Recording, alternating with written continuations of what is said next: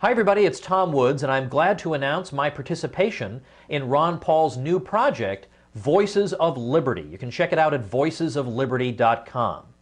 You may have noticed that in the American political conversation, we're always given false and even hideous choices. So, in tax policy, should the top tax rate be 41% or 39%? Or in foreign policy, should we bomb that country or just starve them to death?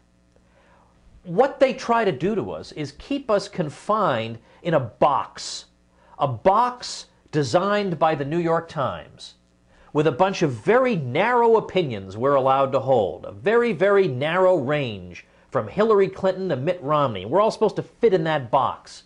Voices of Liberty crushes that box into the ground and then sets it on fire. I'm very excited for Dr. Paul and his new project. I've worked with him very closely over the years on a number of important ventures. I've testified before Congress at his invitation. I've spoken for him many times as his warm up speaker, in effect. I'm designing courses for him for the homeschool program that he's putting together. I'm designing courses for the high school level. That's at ronpaulhomeschool.com. Dr. Paul wrote the foreword to my 2009 New York Times bestseller Meltdown on the financial crisis. But now we have Voices of Liberty.